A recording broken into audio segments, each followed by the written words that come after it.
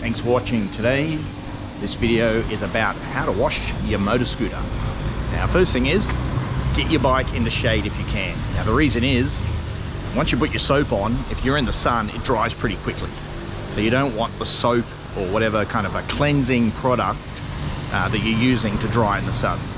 Um, so get it in the shade. Yeah, so you want to get it up on its center stand. Now the reason you want it up on your center stand is because then your bike's all kind of horizontal, horizontal and level.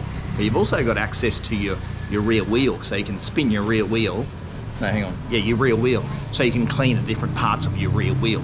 So I'll just show you how to do that.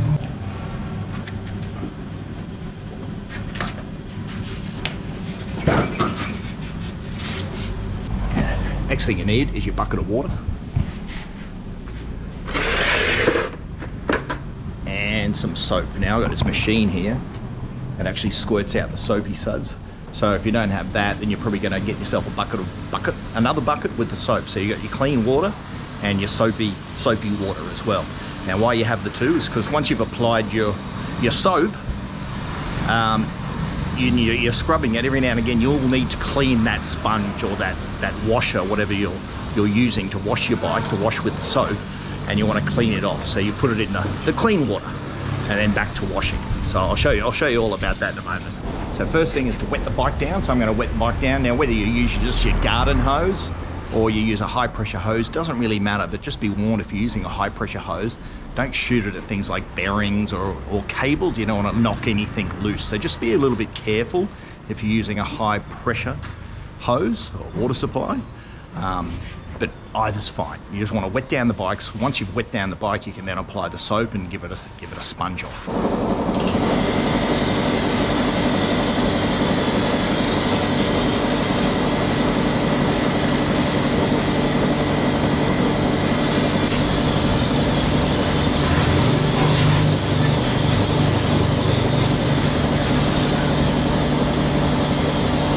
So when we're hosing it down, what you're doing is first of all, just want to get your bike wet. But the other thing is use your hose to knock off any kind of loose gravel or mud. Like I had a little bit of gravel, sand kind of thing where my footrest was. There's also a bit of mud build up around the tires. So use your hose to get that bulky stuff off and you're wetting the bike down. Next step, I'm going to apply the soap.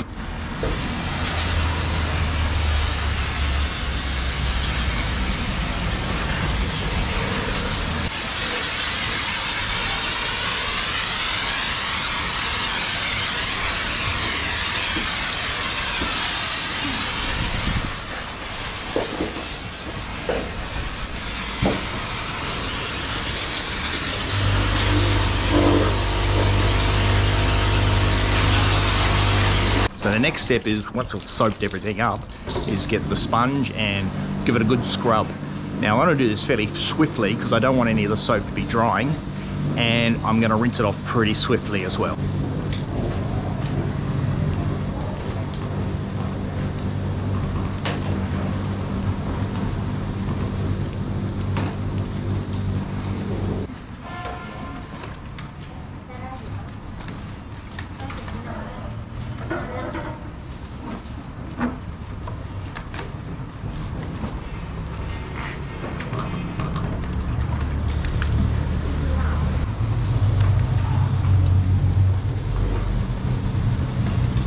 I go from top down. And when I get down to the bottom, uh, these are pretty handy, the old scrubbing brush for the wheels.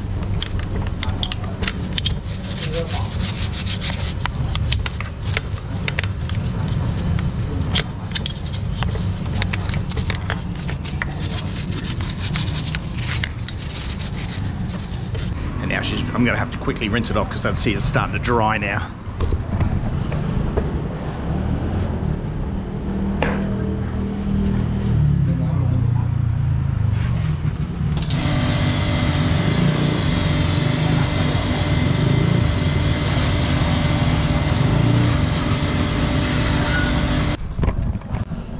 You're doing that uh, final rinse, you might see a few spots that you've missed.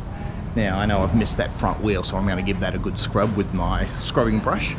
Now, another thing is a little bit, uh, I've, I've, washed a lot of trucks and cars in my day, and actually one of the, I've, I've been using the rag there, but actually with your hand, if you're not too worried about your hand, you can actually feel the grime as well when you're washing. So don't be afraid to use your hand for that extra bit of sensitivity. Uh, but I'm going to scrub these front wheels and then then it's time to dry it off. And actually notice the process is pretty quickly. It's pretty quick.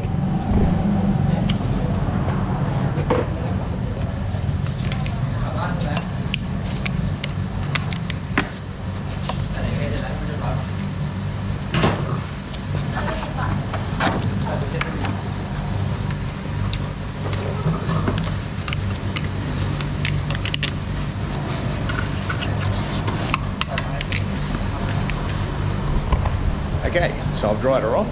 Now it's time to, no, sorry, I've just finished scrubbing it all. Uh, I'll give it one more rinse, rinse down and then I'm going to dry it off. Now there's two ways you can dry it off. One is with a chamois, one is with an air blower. Uh, I'm going to use both.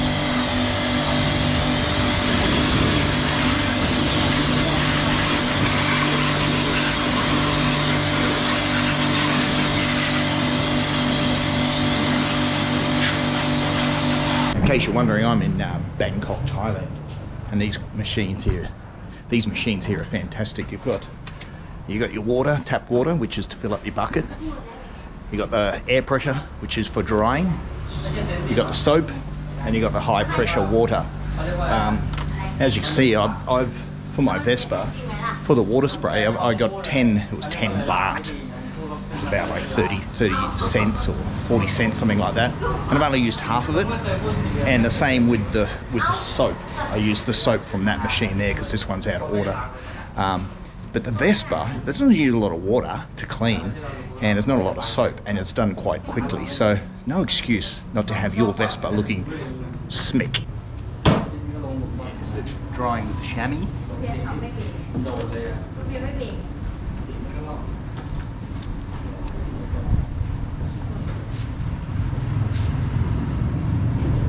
Next thing I'll demonstrate is drying with the uh, air pressure gun.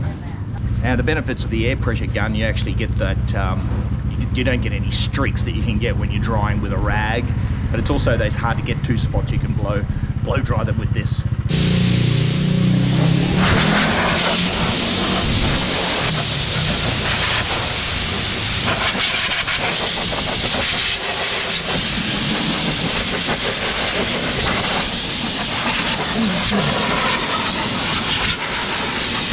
I think I'll get the bulk off.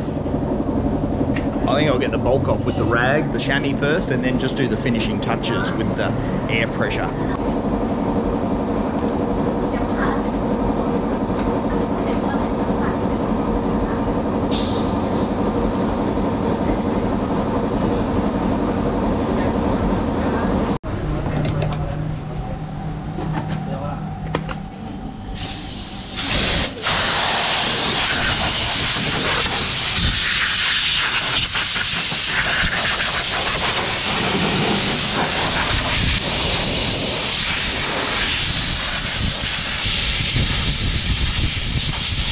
Once you finish, you feel that sense of pride of having a nice clean bike, the cleanest bike in the neighborhood.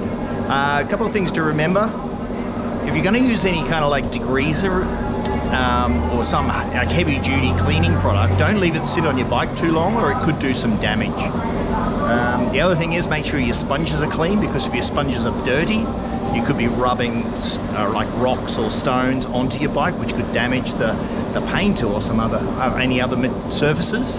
Now, the last thing is when you take off, also just gently apply your brakes because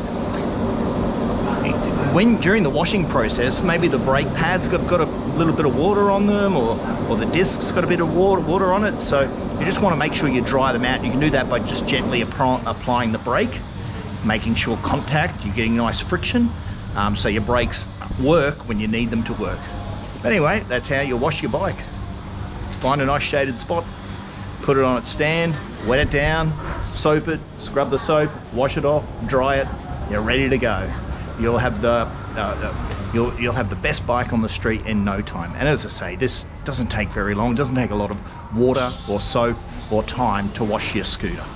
And one last little tip before you ride off good chance to give your helmet a bit of a wipe down.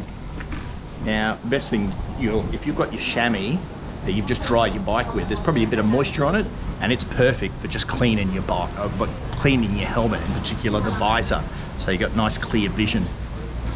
So give that a nice wipe down. That's that's the final step. Don't do it if your chamois dirty though.